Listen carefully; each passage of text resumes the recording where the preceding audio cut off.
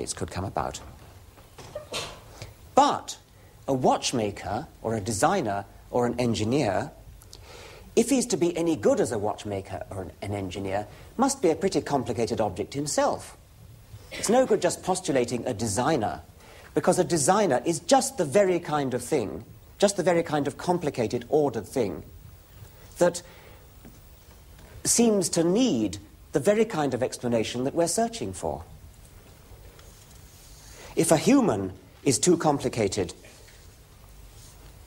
to have come about by luck, or if a swift is too complicated to have come about by luck, then a thousand times more so, any being capable of creating humans must be too complicated to have come about by luck. The argument from design certainly proves that living things couldn't have come about by chance. But by the same token, even more strongly, it shows that a divine creator couldn't have just come about either. The creator would have needed an even bigger creator, and so on. The argument from design is a powerful seeming argument, and it powerfully shoots itself in the foot. The Darwinian argument of evolution by natural selection, of course, doesn't suffer from this problem. The Darwinian argument does not explain things as due to chance.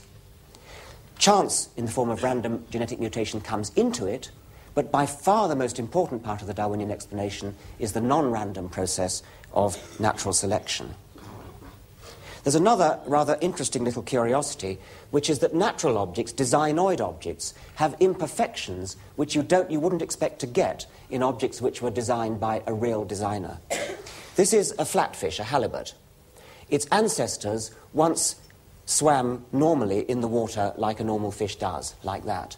But the ancestors of the halibut settled down on the bottom of the sea, one side down. They lay on the bottom of the sea, and then now a modern flatfish moves along like that. You've probably seen them doing it. But when it did that, the ancestor found that one of its eyes was looking straight into the sand. Only the other one was looking up. And so gradually in evolution, the other eye, the one that was looking into the sand, migrated round the side of the head and came up to the top, with the result that the skull of the halibut is now an extremely distorted object. It's like a sort of Picasso painting of a fish. It's got its two eyes on one side. Now, anybody who was going to design a flatfish wouldn't do it that way.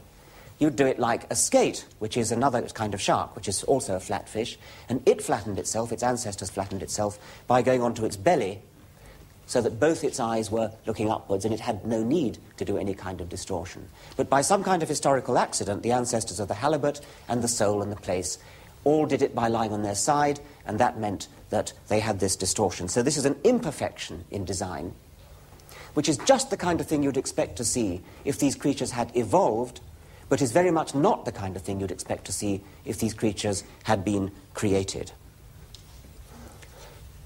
Evolution starts from simple beginnings. The starting point of evolution is the kind of thing we see here something like crystals, something at least as simple as crystals.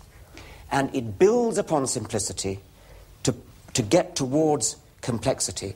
We start with a simple foundation Simple things are easy to understand. We don't have to start with a complicated thing like a creator. On this simple foundation are built designoid objects by natural selection. And only when we have designoid objects with brains as big as human brains does design finally emerge. But why do I say just humans for design? Isn't it rather unfair to the wasps that built these pots and bees and spiders and things, rather unfair to this oven bird that built that mud nest, or that nest of social wasps, which is very similar to that, convergently, also built of mud. Why do I use the word design only for human creations and not for the manufactures of these animals? The difference is that human designs get their goodness and efficiency from conscious human foresight. Wasp pots and ovenbird nests get their efficiency directly from natural selection by a kind of hindsight rather than foresight. Genes are selected which influence the bodies of the ovenbird and the wasps, and particularly the nervous systems which influence the building behavior. The birds and the wasps have no idea of why they're doing what they do. Natural selection simply favors those that build good nests. Humans, on the other hand, do build with foresight. At least they do usually. This is an engineer called Ingo Rechenberg from Germany who designs windmills, and he claims that he designs his windmills by a kind of natural selection. Uh, he does it by putting his windmills in a wind tunnel, measuring how good they are, and then, as he calls it, breeding from those windmills that are good at spinning round in a wind tunnel.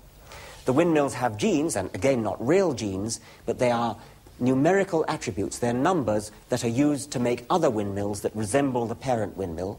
And in every generation of windmills, he breeds from the ones that do best in the wind tunnel. And after many generations of testing them and breeding, testing and breeding, he ends up with a windmill that he claims is better than you would get by the ordinary processes of engineering design. But you could say that all engineering design and even all art has a certain Darwinian component. And I want to illustrate this with another computer program uh, called Biomorphs. So can we have a volunteer to run the Biomorphs? Oh, dear, dear, dear. Right, yes, please. Uh, what's your name? Rachel. Rachel. Have you ever used a mouse before? Yes. Good. Um, now, there you have some biomorphs. Try, try one of those now.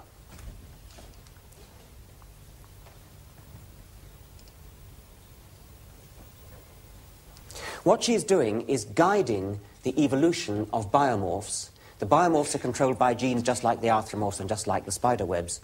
And uh, they're coming up by random mutation, but the direction of the evolution is being guided by the human eye, just like the direction of breeding cabbages or dogs, but in this case we're just looking for pure aesthetic appeal, just looking for the prettiest ones.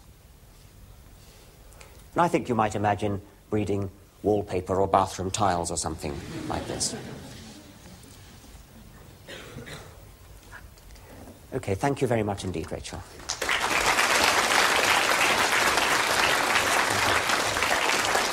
But in any case, in any case, all creation, all design, all machines and houses and paintings and computers and aeroplanes, everything designed and made by us, everything made by other creatures, is only made possible because there are already brains put together as designoid objects, and designoid objects come about only through gradual evolution. Creation, when it does occur in the universe, is an afterthought. When creation appeared on this planet, it came locally and it came late. Creation does not belong in any account of the fundamentals of the universe. Creation is something that rather late in the day, grows up in the universe. Thank you very much.